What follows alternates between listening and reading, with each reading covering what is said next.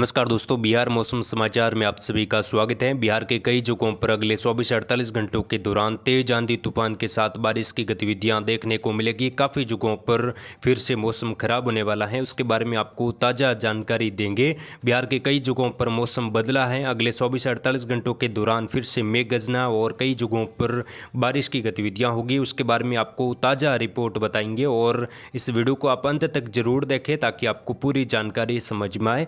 दरअसल दोस्तों, फिर से बिहार के ज़्यादातर इलाकों पर मौसम बदलने वाला है। पिछले 24 घंटों के दौरान भी कुछ स्थानों पर बारिश की गतिविधियाँ रिकॉर्ड हुई। आने वाले 24 से अड़तालीस घंटों के दौरान बिहार के उत्तर पश्चिमी क्षेत्रों से लगाकर दक्षिणी पूर्वी भागों तक बादलों की आवाजावी बढ़ेगी और ज़्यादातर इलाकों पर घने बादल छाने की संभावना है, क्योंकि उत्तर भारत के राज्यों पर एक और नया डब्ल्यू पहुँच चुका है और इस डब्ल्यू का असर आने वाले तीन चार दिनों तक बिहार के उत्तर पश्चिमी क्षेत्रों से लगाकर मध्य और दक्षिणी पूर्वी भागों तक देखने को मिलेगा। काफ़ी जगहों पर बारिश के साथ ओलावृष्टि की गतिविधियाँ दर्ज होगी। कुछ स्थानों पर बिजलियाँ गिरने की संभावनाएँ भी बन रही हैं। दोस्तों, अगर हम बारिश की गतिविधियाँ देखें तो यहाँ पर बबुआ रोहतास, औरंगाबाद से लगाकर बक्सर, भोजपुर, राजधानी पटना, कुछ गोपालगंज, सिवान, पश्चिमी चंपारण और पूर्वी चंपारण तक के क्षेत्रों पर बादल बनने के साथ बारिश की गतिविधियाँ हो सकती हैं। कुछ तेज अंधड़ की गतिविधियाँ भी उत्तर पश्चिमी और कुछ मध्य भागों के आसपास देखने को मिलेगी और आने वाले तीन चार दिनों के दौरान कुछ स्थानों पर बिजलियाँ गिरने की संभावनाएँ भी बन रही हैं।